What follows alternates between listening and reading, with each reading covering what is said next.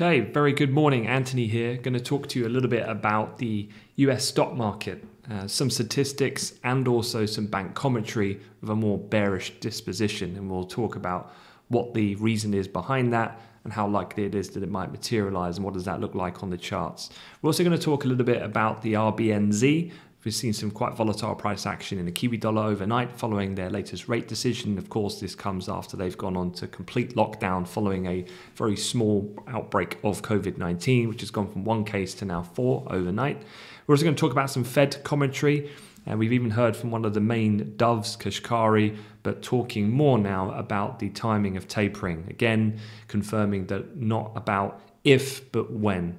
And then we'll have a look at UK CPI. It's come out a lot lower than expected this morning at 2% versus expected 2.5 and yet the pound has not moved and I'll explain why. So this is your market briefing. It's Tuesday the 17th of August. Let's get straight into it. Before I begin, don't forget if you're watching this on YouTube, don't forget to like and subscribe to the channel. I'd really appreciate it. But let's start with this. This is a look at the S&P 500 and uh, someone had shared this on social media, but I thought it was quite unfitting given what I've also heard out of the US chief equity strategist Mike Wilson at Morgan Stanley early, earlier this week, who had a call on the S&P to move back down to 4,000. We'll have a look at the chart in a moment, but bearing in mind we're trading at 44, 45 at the moment, so that's a significant and technical correction in markets if that was to materialize. But first off, we had um, a continuous run of positive closes. Remember, uh, we had seen the S&P 500 and Dow post the fifth consecutive session of gains up till yesterday. And you remember in the briefing yesterday, I was talking about whenever that happens, it almost always constitutes at some point in a snap of that and a fairly quick downward move. And i think we did see that to a moderate degree yesterday. And if i just look at this s&p chart here in a little bit more detail on a daily you better see what i'm talking about. So this was that broader uh, trend higher that we've been seeing over the course of the last couple of months going back to really march of this year. And then we're in that really tight range to uh, commence the month of august you know, it's been particularly low volatility. Uh, volumes have decreased, quite typical seasonally of the summer period. And then we had a bit of a breakout on the downside of that very tight trading range. Uh, and so we blipped lower, but we have recovered. And we saw some decent buying off those initial lows. And in fact, the Asia Pac session, we have seen um, the Asian indices moderately higher, but we'll get to that um, in a moment. Going back to this chart though, statistically speaking, this goes back to 2002, and it was just looking at the general S&P price movement, upon of which was highly uh, kind of talked about yesterday. Um, the 100% gain from the trough of March 23rd of 2020 to where we printed um, at the recent all-time high, which is an 100% move. And what that tends to see, and you know, history does have a pattern of repeating itself. And, and certainly when you get this type of movement, people start to ask these questions. And interestingly, it came as well amid a bit of press coverage around Morgan Stanley. And their US equity strategist Mike Wilson has a year-end price target for the S&P of 4,000, as I said. Um, additionally, between now and the end of the year, he also expects a correction even greater than 10% uh, stating a combination of lower than consensus earnings next year. Lower valuation leads us to believe that there's very little upside, and if any, to major US equity indices over the next few quarters. However, on the positive side, he added that the correction would allow for the next leg of the economic expansion with the bull market to commence. Very important point there to understand short term market movement against a long term view on markets because you know, don't get me wrong, this chart has gone up. And so, yes, the pullbacks here on 100% gain are very violent. Again, it's this idea, the analogy of the stairs up, the escalator down, but the destination is up. And so, worth keeping that in mind depending on your time frame of investment um, in that respect. But let's just translate that to the charts and have a look at a couple of things and a couple of levels here that I would say are probably worth watching. So going off where we are at the moment from today's price, um, one of the key areas I'd be looking at here in the short term that's more near to current price um, areas is this area here. So I'll draw a rectangle to make it easier to see. I think this area that we found some support both um, at the beginning of the week on Monday and also so far today. 44.32 and a half is quite a big level here on the daily chart for the S&P on the futures. I think any further breakdown of that, the next key level I'd be looking at is down here. 43.65 and a quarter. Again, I'm not inferring that this would be intraday necessarily, but just key levels technically to watch. And then further down here at 42, uh, 42.52 and three quarters to give this some context as to what I've just discussed with MS, so from where we're trading at the moment, the range low to test down at those levels would only be a quarter percent move. A breakdown of that, and in fact, yesterday's low was quite telling because as you can see from yesterday's low, that was also a relative point of interest now and will be again to the downside from these previous highs, that low that we had back on the 9th of August, uh, and also yesterday responding to that level.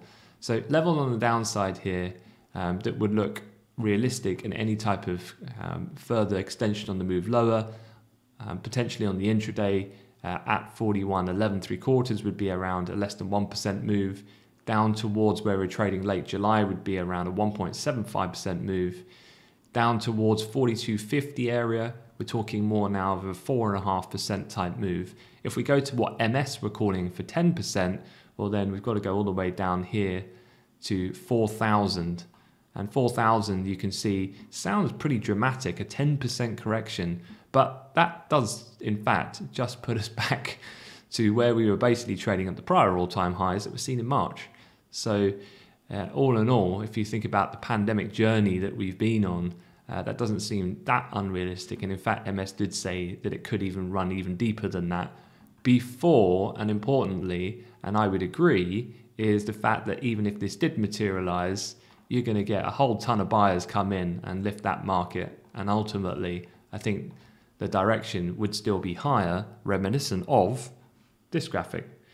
So, yeah, a couple of things to think about there uh, and to be aware of. Uh, some interesting notes you can find on my, my Twitter handle uh, if you want to have a look in a bit more detail of what I've just discussed. Um, but elsewhere, talking of the overnight session, quick look at the charts overall and general sentiment after that weaker handover on Wall Street, where the major equity indices, the S&P and the Dow were down about seven and eight uh, tenths of one percent, and Nasdaq down a touch lower or a touch more, nine tenths. But Asia moderately higher, not really too much to speak of there, but snapping again a bit of a continuous losing streak.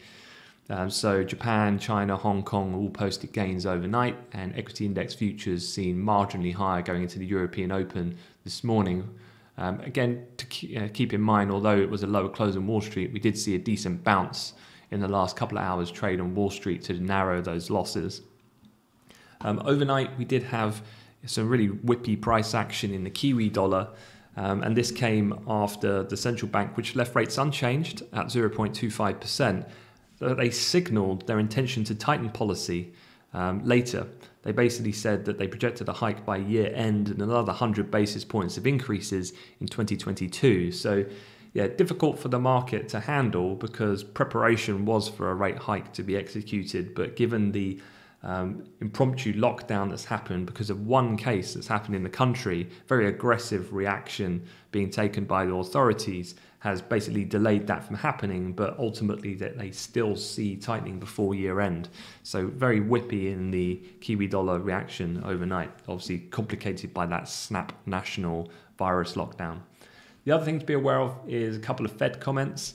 Um, quite interestingly, a well known Dove but non voter, Neil Kashkari, spoke overnight and said it could be reasonable to start reducing the Fed's bond buying program later this year, although that would depend on, you know what, the labour market. So, in fitting what everyone else has said.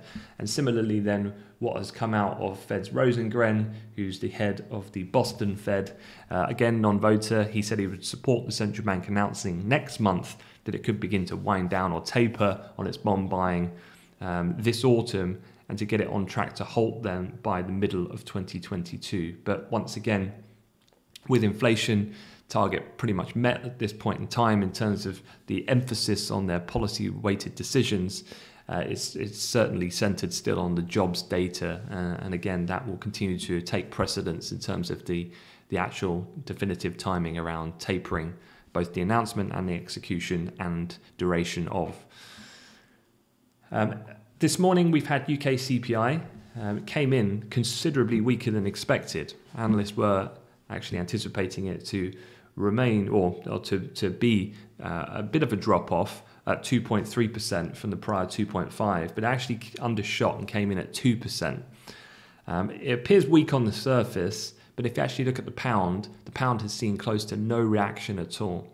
So again, for anyone you know, observing markets or trading these markets, this is so key to be aware of is not to just take it on face value, do your preparation, do your research, and particularly in this pandemic period, because the headline CPI number that people look at in the UK is the year on year figure, um, and uh, apart, um, despite appearing weak on the surface, then it reflects largely base effects from the pandemic in 2020, which saw disruptions to the usual calendar price reductions in clothing and firmer petrol prices. So, a bit more of a mechanical shift rather than an inflection point for inflation to now move lower. Instead, the expectation is, is that the August report, the next CPI report that comes out, is expected to return to the normal pickup and resume that upward trend as outlined through the, the forecasting of the Bank of England.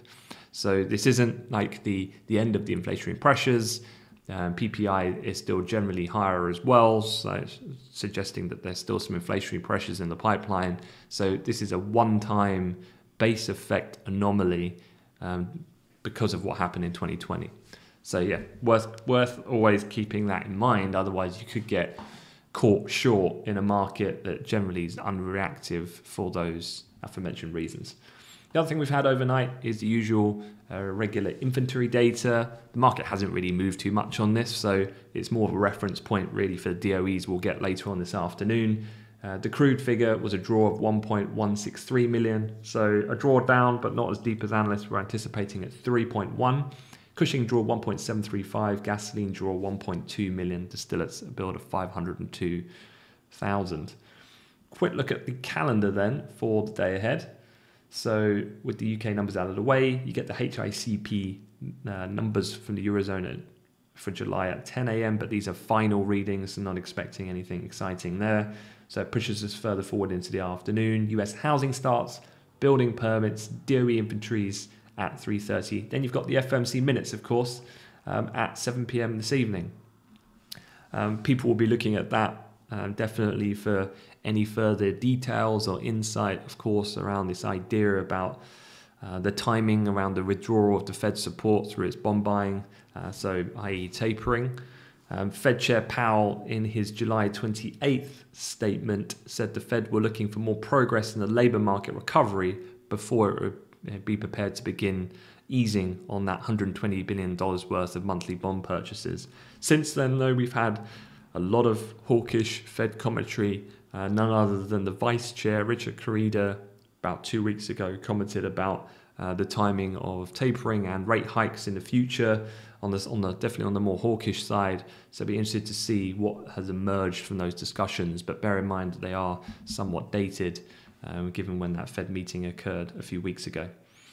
Um, and that is it. So, again, if this is useful, if you're new to the channel, please don't forget to subscribe. Uh, lots more content, not only coming from me, but plans for Eddie to do a lot of single stock analysis and, and other pieces as well. So, um, yeah, appreciate you being part of the community, and I'll see you same time tomorrow. Take care.